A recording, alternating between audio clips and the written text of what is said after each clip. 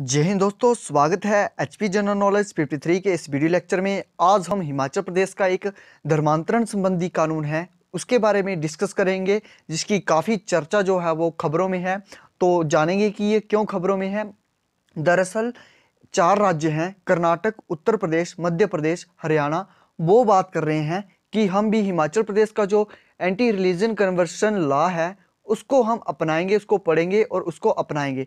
दरअसल इसकी बात इसलिए चली क्योंकि हरियाणा में हाल ही में 20 साल की एक लड़की को एक युवक द्वारा मार दिया गया और उसके बाद सोशल मीडिया में जो है वो मुद्दा जो है, धर्मांतरण संबंधी मुद्दा जो है गर्मा गया। उसके बाद हरियाणा और कर्नाटक, उत्तर प्रदेश, मध्य प्रदेश इत्यादि जो राज्य सरकारें हैं, इन्होंने कहा कि हम अपने राज्य में जो हिमाचल की तरह एक स्ट्रॉन्ग कानून जो है वो बनाएँगे, ताकि जो धर्मांतरण है एंटी रिलीजन कन्वर्सन है, उसको रोका जा सके।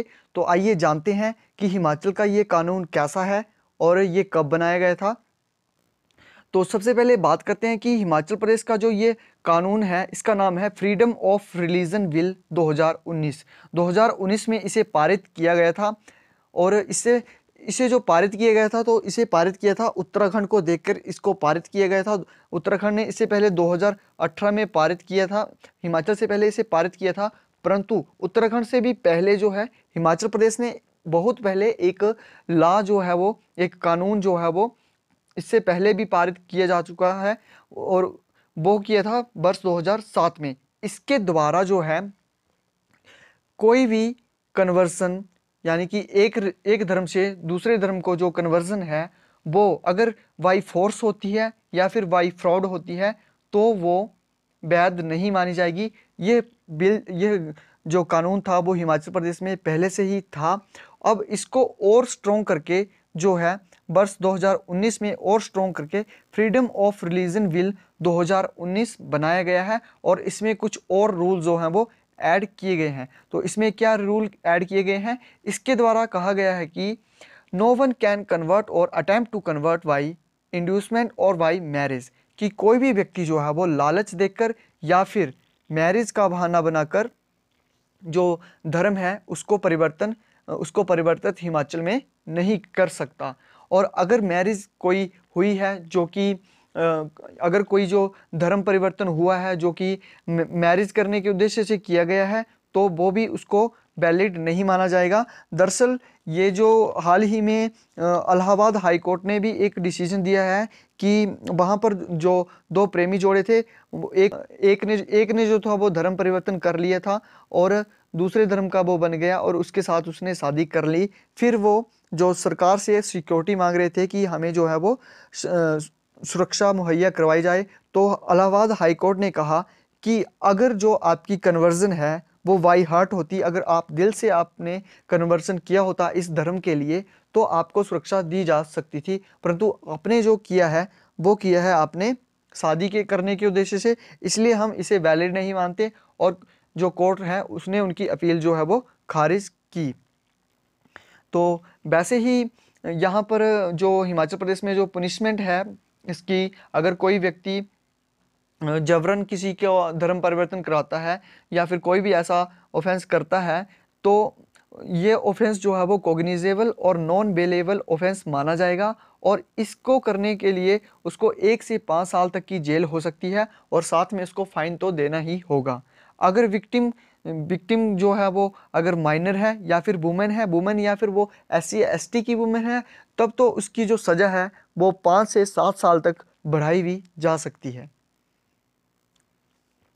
तो अब बात आती है कि क्या हिमाचल प्रदेश में कोई भी धर्म परिवर्तन नहीं कर सकता? तो इसका जवाब है कि हिमाचल प्रदेश में कोई व्यक्ति धर्म परिवर्तन कर सकता है।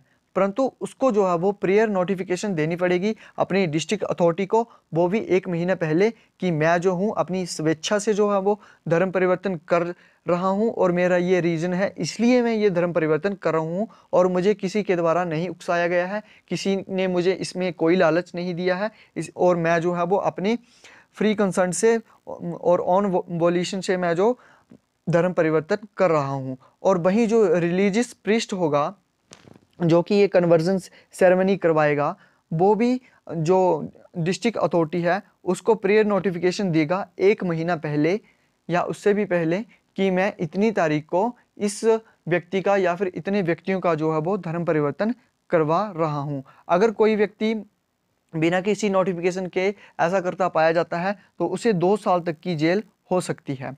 और इसको डिस्ट्रिक्ट मजिस्ट्रेट जो है वो एक कमेटी बिठा सकता है कि बाकी में ये व्यक्ति जो कन्वर्जन कर रहे हैं, क्या ये स्वेच्छा से कर रहे हैं, या फिर इनके पीछे इंटेंशन क्या है, इनका पर्पज़ पर्पज़ क्या है कन्वर्जन का? तो वहीं अब बात करते हैं कि हिमाचल प्रदेश में जो मैरिज के लॉ हैं, वो कितने हैं? तो सबसे पहले हिमाचल प्रदेश सॉरी भारत में जो मैरिज के लॉ आए थे, वो सबसे पहले आया था, इंडियन क्रिश्चियन मैरिज एक्ट आया था, वो 1872 में आया था, उसके बाद Parsi marriage and divorce act आया था 1936 में, उसके बाद मुस्लिम पर्सनल लॉ आया था 1937 में, फिर हिंदू मैरिज एक्ट आया 1955 में, इसमें जैन, सिख, बुद्ध जो भी हैं, उनके सभी की मैरिज जो है वो रजिस्टर की जाती हैं। सभी की मैरिज जो है वो यहाँ पर रजिस्टर की जाती हैं।